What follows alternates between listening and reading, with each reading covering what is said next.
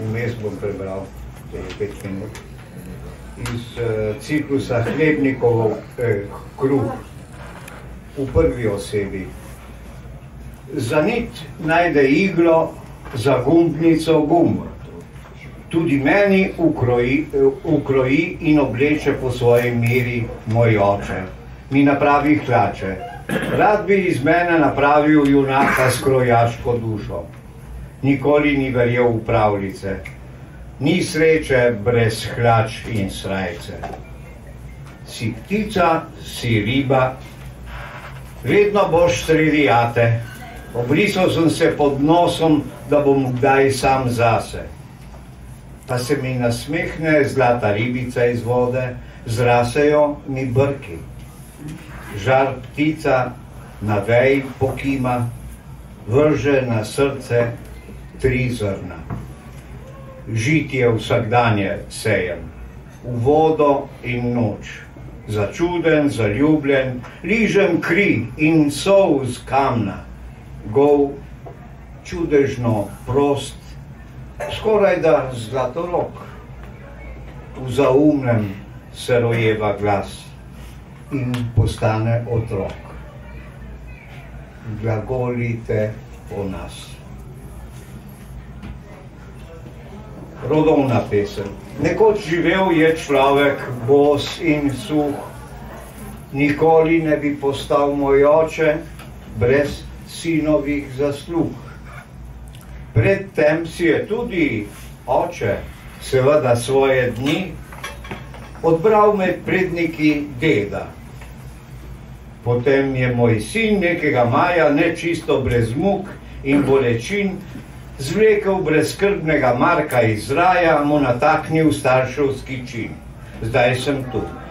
Za vrt skrbim in se veselim, če kaj iz zemlje pogleda, Sam sebi sem, nono in vnuk, rodilnik in pokolenje.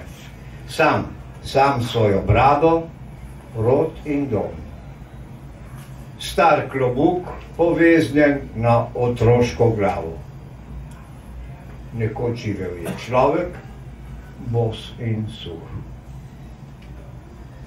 To je ena iz novejšega časa, iz zbirke kot cukro zlato. Ah, saj, skrbeti za svoje verze, kot najbolj skrbna mama. Vaditi z njimi, tanko gor, debelo dol.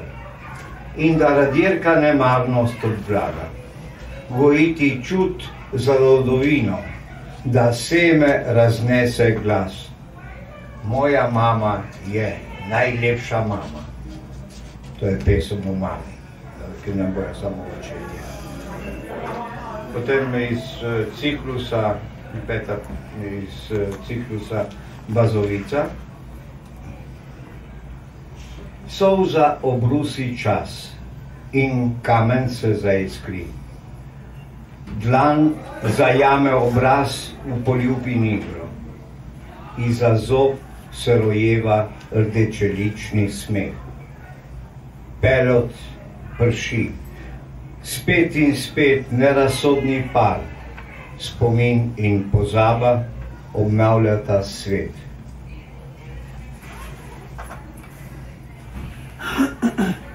Je, na pol ljubezenska, na pol primorsko.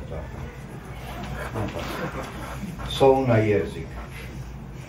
Tri zrna soli v usta.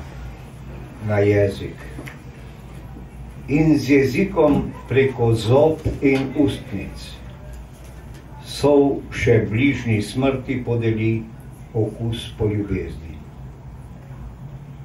Vrzi, vrzi belo sov v morje, naj se krodni vodi vrne, naj se navzame modrine. Sov se topi, a ne mine. Sov se topi a ne mine. Še ena iz te zbirke, oziroma ne, iz nastala po tistem kot suho zlato. Je bila objavljena samo v vrabcu monarhistu, zato je tudi poklon tukaj prvemu rojstnemu dnevu te, tega anarhista.